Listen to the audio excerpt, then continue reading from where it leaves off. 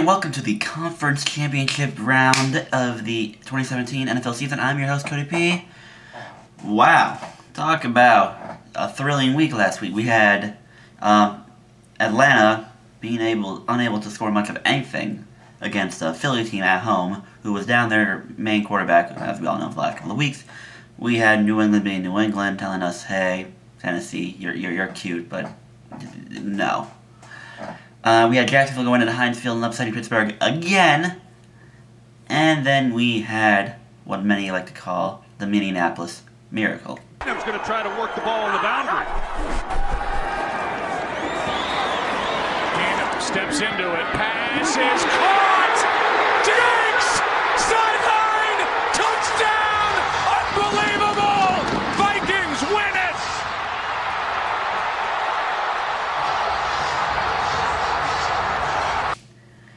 So we have that. Let's go over last week. Um, straight up two and two. I wanted to take Jacksonville. Something told me eh, stay off because again, we all saw how Blake Bortles performed against the Buffalo Bills. We, we, we weren't thinking that was gonna. Yeah, no. And then yeah, Philly letting us know, hey, just because we have Nick Foles doesn't mean we still can't do good. Heck, Nick Foles got a playoff win before Dak Prescott. I'm not saying anything. I'm just saying. And then against the spread, um, due to the Minneapolis Miracle and them not going for an extra point or two point conversion, when I took it at five, it stayed at five, so it's a push, I guess. I've never actually had to deal with a tie for the spread thing before, so I believe it's a push. Um, and then over unders, um, the Pittsburgh and Jacksonville game was totaled at 41. Both teams scored over 41 points. So, a. But yeah, that's that's pretty much how it. Now we're gonna go into the conference championship games.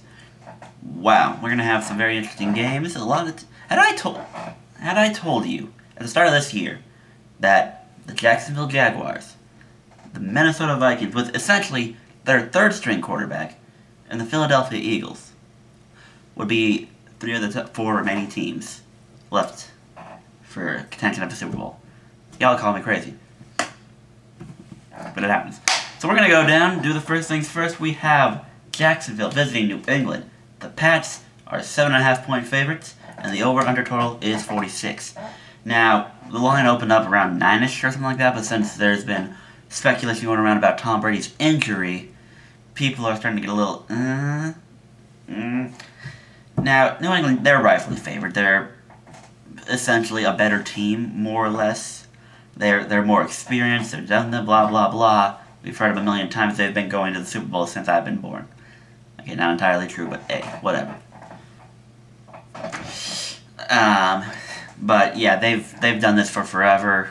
It's this is nothing new. In Jacksonville, maybe might not be the best team. I mean, Pittsburgh probably would have been had a better chance, but then again, maybe not. Who knows? Jacksonville, though, as compared to Pittsburgh, Jacksonville has a defense Ignore the fact that 42 points scored on them. Ignore that. It's Pittsburgh. They have AB, Juju, and all of them. You're not going to stop them. Give them the benefit of the doubt. Jacksonville, though, they, they have one of the better, if not the best defense in the NFL. Argue with Minnesota. Other than that, it's not much to it. Um, Blake Bortles, if he can perform like he did against Pittsburgh, I mean, maybe they'll get the benefit of the doubt. But whether or not the NFL or whether or not the Patriots are screwing with us and just trying to give everyone a false hope, it's been acknowledged that something's up with Tom Brady's hand. Something's up and it's not right, so chances are something could happen. Something maybe he's not as accurate, maybe he'll play. He'll play. And he'll be fine, essentially. I have no no no yeah. He'll be fine. Um as a person growing up as a bona fide New England hater, the only team I hate more than the Patriots is Seattle with their annoying fan base, and Cincinnati, who are just, I'm not going to swear on here, but very, very unlikable people. I don't know, ever watching that wildcard game against Pittsburgh a couple years ago where people were throwing crap at Big Ben when he got injured? Uh, I, I just don't like when people throw stuff to the players and it was awful. Seattle was a bunch of D bags, and even the got game Jacksonville that kind of hurt me too. But I don't know. I I can't make much, but I don't have faith in Jacksonville. Like I think their defense could do stuff, but their offense, you got to play near perfect, and I don't think they. But I think since Brady's been a little compromised and this defense is good, and I'm still to count Brady's age of 40 being relevant to this, I think Jacksonville will make it a close game. So, and chances are both teams will probably drop 20. Chances are it's possible.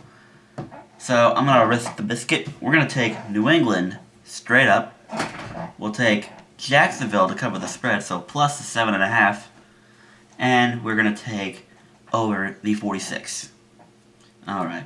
And out of the NFC Championship game, the Minnesota Vikings head to Philadelphia. How the hell did Philadelphia win? Home field advantage must mean something, apparently. Or Matt Ryan's just a bona fide show card that we all know and love. I mean, hey, at least he got back to the playoffs, unlike some teams who lose their Super Bowl. But, um, Minnesota is favored, so the Eagles are underdogs at home again. So the Eagles fans are going to be wearing their dog masks like crazy. And the total for this is 38.5. A very low score, but these are two teams who are widely known for their defense, and their offense doesn't typically score a lot of points.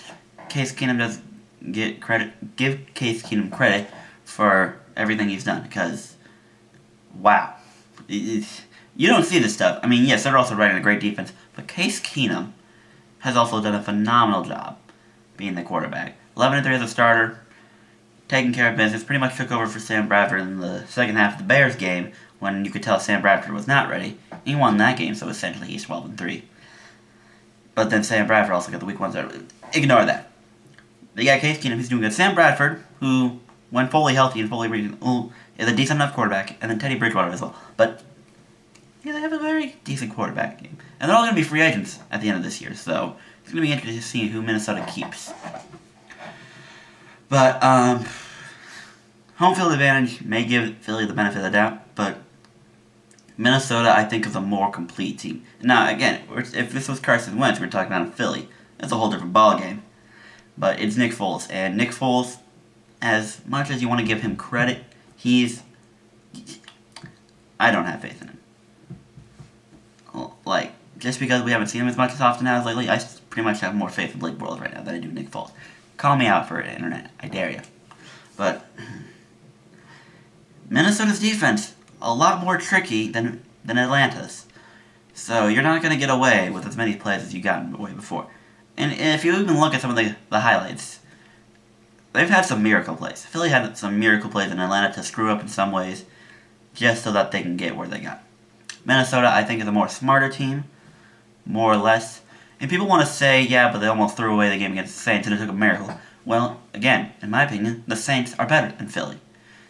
Whether that whether the home field advantage will technically make them better or not, I do not trust Philadelphia. But I do think Oof, I don't know. Minnesota's tricky because like they can score a lot of offensive points, but Philly also has a great defense. But then they have a there's this feeling that Nick Foles may turn the ball. I mean, if the Vikings made Drew Brees turn the ball over, imagine what Nick Foles is going to end up doing. It's a little risky, but I'm gonna I'm gonna work with it. So I'm gonna take Minnesota straight up. Three points. That's not a whole lot to ask. So they will cover the spread minus three, and I'm gonna take over the thirty and a half because yeah, it's a bunch of defensive battling out, but chances are I think there will be a good three, four touchdowns, five maybe. I don't know. Wait, that makes no sense. Anywho, Jake Elliott's good. Kai Forbath wants to try to be a part of the building process to help Minnesota. I mean, if this spread was 42, I might consider the under, but 38, I think they'll do just enough to get over. Like, along the lines of maybe a 21 to 18 battle. Maybe. Or like 24 17. So that's kind of where I'm going with this. Philly will score, whether they like it or not. Give them the benefit of it. Alright, again, we're going to do this quickly here, just recap. Um, New England straight up, Jacksonville against the spread, over the 46. Minnesota straight up, Minnesota minus 3, and over the 38.5. So, yes, I am predicting essentially a Patriots Vikings Super Bowl. Now, I'm going to say a couple things before I go. To the people who keep saying the NFL is rigged, or people are throwing games on purpose, or whatever, shut up. Like, in all honesty, please shut up. The NFL is not rigged. There's a video going around that saying Cameron Jordan purposely avoided trying to sack Case Keenum just so that play can happen. You're telling me Cam Jordan, one of the most respected players in the world, one of the more be- better players in the world, and all that, purposely missed a potential sack just because he wants the Vikings to win. But plus, nothing is given. Who says Stefon Diggs makes that catch? Not every receiver can make that catch. You're relying on the receiver to catch. That that's a chance. Because drops happen. They happen. No receiver is perfect. Timing could be off, whatever. A lot of things can happen in football. You can't say it's rigged. NBA can't rig you. You can't rig sports events because I would assume that they do. The only way you could rig a game is if you do a run play and the defense is just like, nope, we're not going to tackle him, and he runs it all the way into the touchdown. But other than that, you you can't rig it because not every receiver, because you can't get assume the receiver is always going to catch the ball. But whatever, people are going to complain. And also another thing, people who are saying that the NFL is going to lose ratings because if Brady doesn't make the Super Bowl, who cares? You're going to tell me you didn't like Joe Flacco versus Colin Kaepernick a couple years ago? Now, I'll give you the, uh, you know, the Brady's and the Eli's.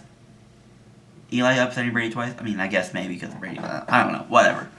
My point is, if the Jaguars make the Super Bowl, you'll be fine. You'll be fine. It might be a low scoring one, but you'll be fine. You'll be fine. Hope the Patriots lose, personally. And yes, I am wearing a Ducks 2015 college championship appearance jersey. It has number 8, so it is Mariota, but it doesn't have the actual Mariota. It doesn't have his name on the back, but it was a lot cheaper because it was only 40 bucks. What can I say? I tell you, I root for Oregon players. So the only reason I root for the Patriots whenever is because Brandin Cooks is Oregon State, which I'm literally two or three miles away from the stadium of or- where he played college ball. Hey, I, I like to root for Oregon players. Although Kiko Alonso hitting my boy Flacco, it kind of hurt me on an emotional level. Oh, well, whatever. See y'all in the Super Bowl. CRP out. He's going to try to work the ball on the boundary. Keenum steps into it. Pass is caught.